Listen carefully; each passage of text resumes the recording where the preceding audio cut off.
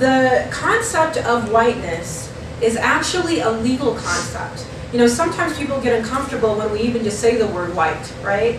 But it's actually a legal concept. And so, um, and so therefore the creation of whiteness um, uh, is recognized or was recognized for a very long time in American law. So let me ask you this. Who then created the concept of whiteness? Uh, English. Okay, the English, and you, you said white people? Yeah. Yes. Let's be specific here. Um, and, but which white people specifically? The English. Royalty in England or the monarchs. Okay, so you're closer to that. The, the white slave owning, land owning white people. This did, whiteness initially did not apply to immigrant Europeans, right? They eventually had to work their way into that status. Those indentured servants eventually had to work their way into whiteness. So, um, white wealthy male landowners, as I've said, and it was a legal status. So white indentured servants were viewed as um, a temporary status, like I've said, but Africans were then viewed as to be a permanent status of a slave.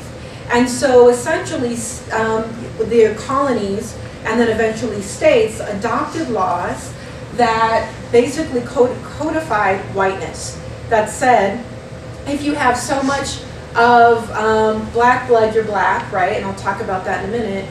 Um, but if you have European ancestry, then you're white.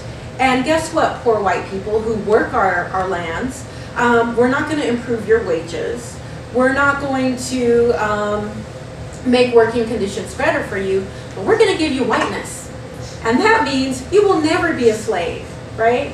And so our differences became then even more about class and magnified race, right?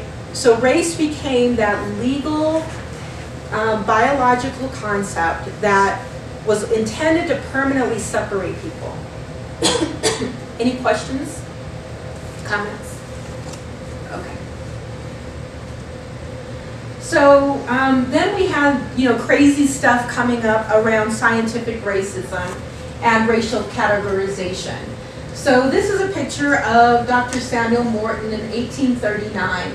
And he put out this really, really popular book called Crania Americana. And um, in this, he touts about racial, support, racial superiority based on biology. So in other words, you see pictures here where at the top is this kind of Grecian looking or European, actually Roman, more Roman looking um, European, and then below him is this um, African looking man, and below the African looking man is an ape uh, depiction. And so, um, and, he, and Samuel Morton wasn't the only one. He was just a popular one in the United States, but this happened in England, this happened in other European countries where somebody was always on top, right? So the Greeks put the Greeks on top, and Spaniards put the Spaniards on top, etc. But almost always Africans were at the bottom, and other races were below uh, Europeans. Um, this also fed into the eugenics movement, which was right the um, elimination of people to try to get pure races. So this was um, part of that foundation, and also that um, Hitler um, when he was, um, you know, designing his, um, you know, genocidal policies, actually looked to America in terms of some of our policies and laws that we got passed in terms of how we looked at defining race and racial inferiority.